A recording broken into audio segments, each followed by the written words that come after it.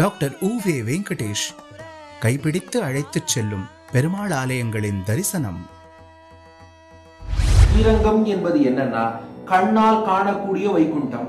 ஒப்புளியப்பன் கோவிலில் நிறைவேற்றினாலே திருப்பதிக்கு போய் நிறைவேற்றிய பலன் உண்டு என்கிறது அந்த ஒப்புளியப்பன் கோவிலின் தலபுராணம். காஞ்சிபுரத்துல போய் ஒரு முறை பெருமாளை சேவித்தால் ஆயிரம் முறை பெருமாளை தரிசனம் பண்ணதற்கான பலன் நமக்கு கிட்டும். தனிச்சிறப்பு வாய்ந்த ஒரு அதிசயம் மிக்க திவ்ய தேசம் ஒன்று இருக்கு. என்னன்னா அந்த கோவிலை கட்டியவர் ஒரு நாயன்மார். நாம் ஒரு திருத்தலத்துக்கு போனால் ஐந்து திருத்தலங்களுக்கு சென்று வந்த புண்ணியம் கிடைக்கும். எந்த நோயும் நம்மை நெருங்காமல் இருக்க வேண்டும் என்றால் நாம் அமுதத்தை பருக வேண்டும். அதுவும் சாதாரண அமுதமெல்லாம் இல்லை. திகட்டாத அமுதம் ஆறா அமுதம். இந்த திருச்சேரையிலிருந்து களிமண் எடுத்து குடம் செய்தார். உடையாமல் சிறப்பான முறையிலே குடம் உருவாகிவிட்டது.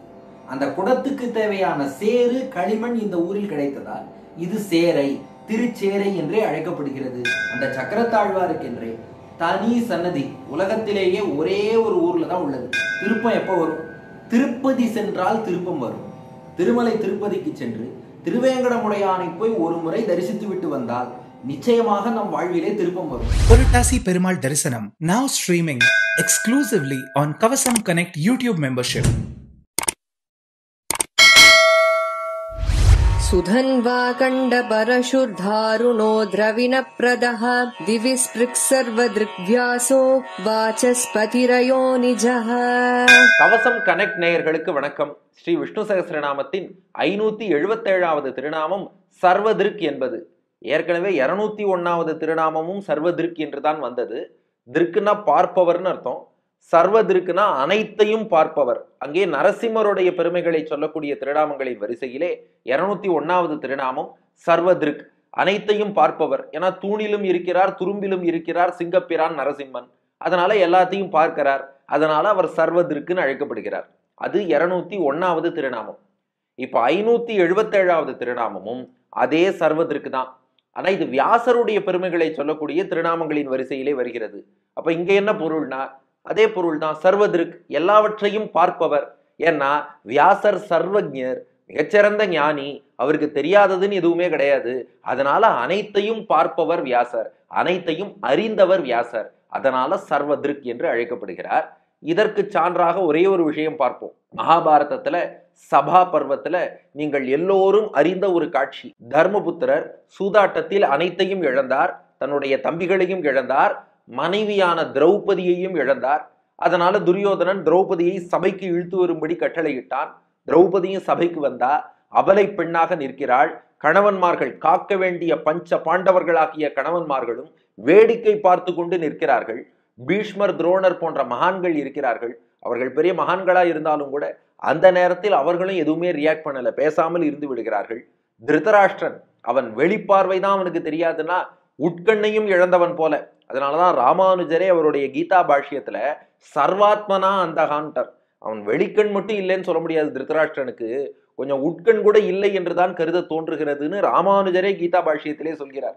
அந்த மாதிரி திருதராஷ்டிரனும் வேடிக்கை பார்த்துட்டு இருந்துட்டான். பார்வை தெரியாதனால் நடக்கிறது இன்னது என்று அறிந்தும் கூட அந்த நேரத்துல உடனே ரியாக்ட் பண்ணலை. இந்த சூழல்ல துரியோதனன் துச்சாசனனை அழைக்கிறான். அவளுடைய அந்த புடவையை உருவும்படியாக சொல்கிறான். துஷாசனனும் போய் திரௌபதியை அவமானப்படுத்த பார்க்கிறான். அந்த நேரத்திலே தன்னை காக்க வேறு யாருமே இல்லை. அப்போ வேறு புகழற்றவர்களுக்கு ஒரே புகழ் யாரு? பகவான் தான் நாராயணன் தான் கண்ணபிரான் தான். அதனால அவனை அழைத்தாள் திரௌபதி சங்க சக்கர கதாபாணே துவாரகா நிலையா அச்சுதா கோவிந்தா புண்டரீகாட்சா ரக்ஷமாம் சரணாகதாம். கையில சங்கு சக்கரத்தை எப்போதும் ஏந்தி இருக்கிறாயே. அந்த ஆயுதங்களை எடுத்து கீழே வச்சுட்டா கூட அடியவன் ஆபத்துன்னு கூப்பிடும்போது அதை எடுத்து ரட்சிக்க ஒரு ரெண்டு செகண்ட் தாமதமாகுங்கிறதுனால அந்த தாமதம் கூட கூடாது. உடனே ரட்சிக்கணுங்கிறதுக்காக கையில் சங்க சக்கரம் கதை உள்ளிட்ட ஆயுதங்களோடு இருக்கிறாயே. நீ மட்டும் என்ன இப்ப காப்பாத்தலைன்னா உன்னுடைய ஐந்து ஆயுதங்களும் இந்த பஞ்ச பாண்டவர்களைப் போல பஞ்ச ஆயுதங்களுமே பயனில்லாமல் போயிடும். தயவு செய்து என்னை காப்பாற்று. துவாரகா நிலையா? இதோ துவாரகையில் இருக்கும் கண்ணனைத்தானே அழைக்கிறேன். நான் வைகுண்டநாதனை கூப்பிடல துவாரகாநாதனை அழைக்கிறேன். அச்சுதா அச்சுதன்னா நழுவ விடாதவன் அர்த்தம். அடியார்களை நீ நழுவ விட மாட்டாய் ஆனா என் புடவையே நழுவுகிறது நீதான் காக்க வேண்டும். கோவிந்தா கோ என்றால் பசு. கோவிந்தன்னா பசுக்களை காப்பவன். வாய் திறந்து கேட்க தெரியாத பசுக்களை ரட்சிக்கும் நீ வாய் திறந்து அடியன் கூப்பிட்டதுக்கு அப்புறமும் காலம் தாழ்த்தலாமா? கோவிந்தா புண்டரி காக்ஷா தாமரை கண்ணனே நான் கண் கலங்கி நிற்கும் போது உன் தாமரை கண்களை திறந்து நீ கட்டாட்சிக்காமல் இருக்கலாமா? ரக்ஷமாம் சரணாகதாம். நீயே கதின்னு சரணாகதி பண்ணிட்டுன்னு ரெண்டு கைகளையும் மேலே உயர்த்தினாள் திரௌபதி பிரார்த்தித்தாள். கண்ணன் உடனே புடவையை சுரந்தான் திரௌபதியை ரட்சித்தான். என்ற இந்த வரலாறு இது மகாபாரதத்திலே சபா பருவத்தில் நடந்தது. நீங்கள் எல்லோரும் அறிவீர்கள். வியாசர் இப்படித்தான் வர்ணித்தார். ஆனா இதன் வாயிலாக ஒரு மிகப்பெரிய தத்துவத்தை வியாசர் நமக்கு உணர்த்தியிருக்கார். அது என்ன தத்துவம்? அப்படின்னா இங்கே திரௌபதி அபலை பெண்ணாக நிற்கிறாளே அந்த திரௌபதி தான் ஜீவாத்மா. அந்த கௌரவர்களின் சபை இருக்கிறது அல்லவா அதுதான் இந்த உலகியல் வாழ்க்கை. நாம சம்சாரம்னு சொல்றோம் இல்லையா? அந்த உலகியல் வாழ்க்கை தான் அந்த கௌரவ சபை. அதிலே நிற்கும் அபலை பெண் தான் இந்த ஜீவாத்மா அந்த திரௌபதி தான் ஜீவாத்மா. இப்போ துரியோதனன் துஷாசனன் போன்ற கௌரவர்கள் அவர்கள் திரௌபதியை அவமானப்படுத்துகிறார்கள் அல்லவா? அது போலத்தான் அந்த கௌரவர்கள்ங்கிறது இந்த உலகியல் விஷயங்கள்.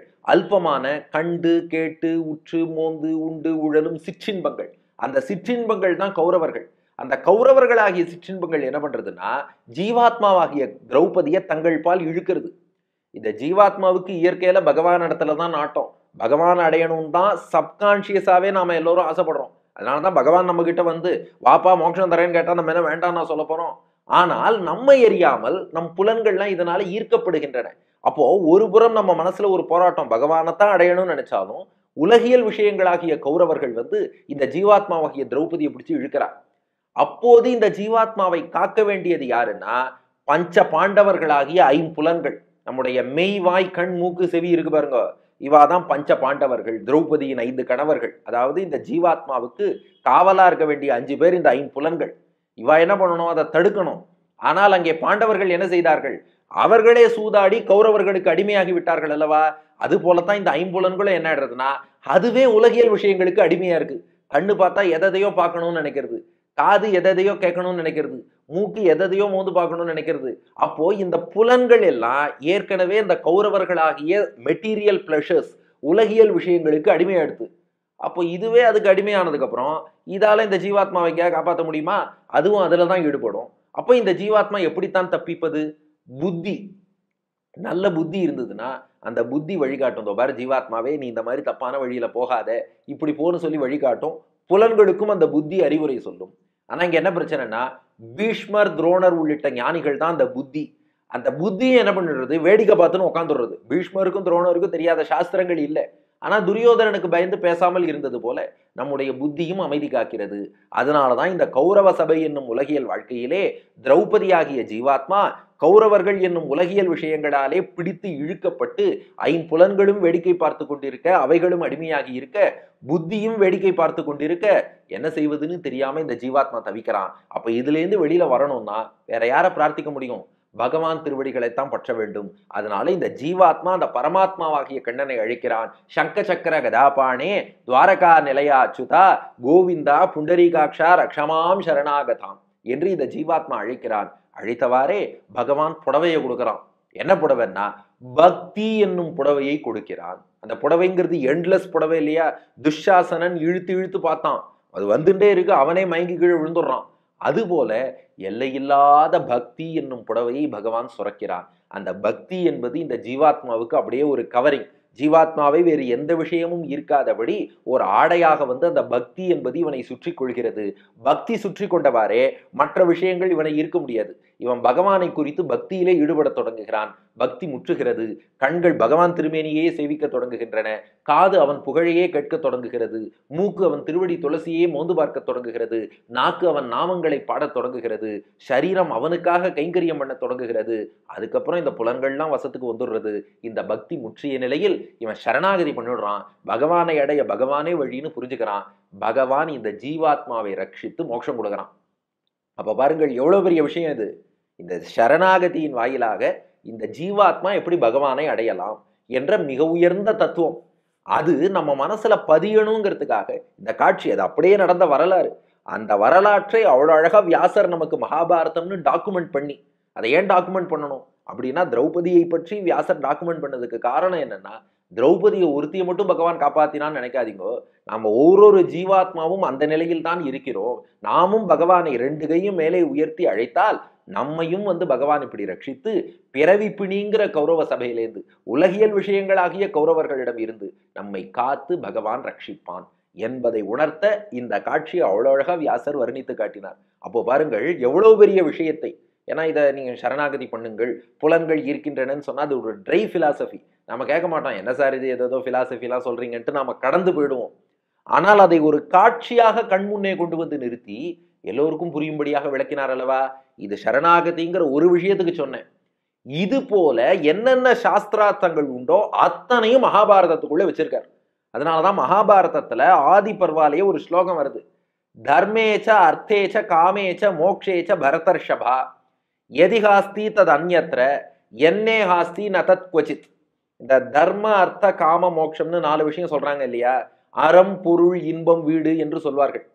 இந்த நாலு விஷயங்கள் தொடர்பாக உலகத்துல என்னென்ன விஷயங்கள்லாம் இருக்கோ அது அத்தனையும் மகாபாரதத்தில் உள்ள ஒன்னேகால் லட்சம் ஸ்லோகங்களுக்குள்ள உண்டு. ஒருவேளை மகாபாரதத்துல ஒன்னேகால் லட்சம் ஸ்லோகங்களுக்குள்ள உங்களுக்கு ஒன்று கிடைக்கலன்னா don't waste your time by searching in other places வேறு இடங்களிலே தேடி உங்கள் நேரத்தை வீணடிக்காதீர்கள். ஏன்னா மகாபாரதத்திலே ஒரு விஷயம் கிடைக்கலன்னா உலகத்துல வேற எங்க தேடினாலும் கிடைக்காதுன்னு வியாசரே மகாபாரதத்துல சொல்றார். அப்போ எதிகாஸ்தி தது அந்நியத்திர எங்கெங்கெல்லாம் என்னென்ன இருக்கோ எல்லாம் இதுக்குள்ள இருக்கு. என்னே ஹாஸ்தி நான் தத் கொச்சித் இதுல ஒண்ணு இல்லைன்னா உலகில் வேறு எங்கு தேடினாலும் கிடைக்காது. அப்படி ஒரு பொக்கிஷமாக மகாபாரதத்தை நமக்கு வழங்கி இருக்கிறார் வியாசர். அவ்வளவு ஆழ்ந்த தத்துவார்த்தங்கள் அத்தனையும் வச்சிருக்காருன்னா அவருடைய ஞானம்ங்கிறது எவ்வளவு உயர்ந்தது? அவ்வளோ உயர்ந்த ஞானத்தோடு அனைத்தையும் காண்பவராக. அதாவது அனைத்தையும் அறிந்தவர்ங்கிறதே கிரேட் தான். அனைத்தையும் காண்பவர்னா பிரத்யக்ஷமாக காண்பவர். ஏன்னா அவர் நாராயணனுடைய அம்சமாச்சே. அப்போ என்ன நடந்ததோ பாண்டவர்கள் கௌரவர்களுடைய வாழ்க்கையாகட்டும் கண்ணபிரானுடைய திருவவதாரமாகட்டும் என்ன நடந்ததோ அப்படியே நேரே கண்ணால் பார்த்து அந்த தத்துவார்த்தங்களோடு அதை வடித்து கொடுத்திருக்கிறார்னா எவ்வளோ பெரிய ஞானியாக இருக்கணும். அதனால தான் அந்த வேதவியாசர் சர்வதிருக் அனைத்தையும் காண்பவர் என்று அழைக்கப்படுகிறார். அப்போ நரசிம்மர் எங்கும் நிறைந்திருப்பவர் அதனால அனைத்தையும் காண்பவர்.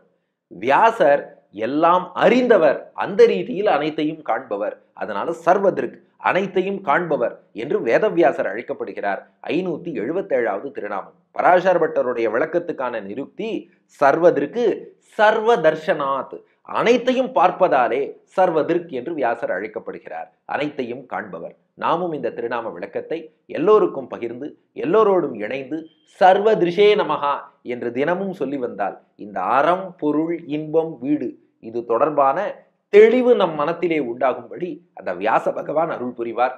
நன்றி வணக்கம். ஆயிரம் நாமங்கள் ஆயிரம் கதைகள் முதல் பகுதி. இப்புத்தகத்தை வாங்க விருப்பமுள்ளோர் கவசம் டிவி டாட் காம் என்ற இணையதளம் மூலம் நேரடியாக வாங்கலாம்.